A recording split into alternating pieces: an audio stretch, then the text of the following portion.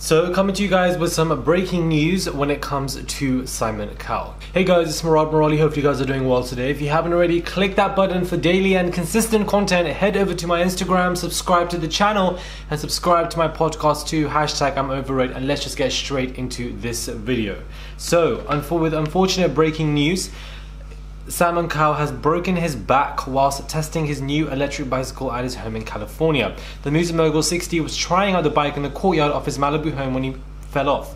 A spokesperson for Cowell said that he had to have immediate surgery on Saturday evening. He is currently under observation you know, Simon Cowell is the creator of Americans, you know, Got Talent and serves as a judge on the show. He's also been on X Factor, which is he's most renowned for. Simon had a fall from his bike on Saturday afternoon whilst testing his new electric bike in the courtyard at his house in Malibu with his family. He hurt his back and was taken to hospital. He's doing fine, he's under observation, and he will be okay. He currently is training number one. Everybody is speaking about this matter and this situation. A lot of people are making fun of him. Okay, granted, I understand that because of you know certain situations shut up. What is that?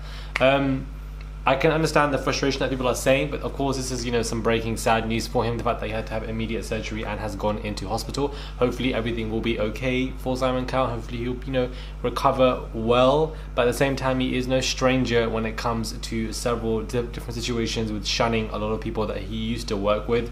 That's a big track record there. But hopefully he's going to be okay. It's a very short two minute video, a quick update on what is going on. Um, subscribe to the channel, click that button for daily and consistent content, and head over to my Instagram, guys. Make sure you head over to my podcast, I would appreciate it. And I'll catch you guys soon for another video. Damn, this video is very short, a two minute quick video, you know. I just come to you with the updates, I let you know what is going on, no wasting anybody's time, and then you can be on your way. That is it, guys. It's quick, it's short, little bursts, it's everything. Subscribe, and I'll catch you guys soon for another video.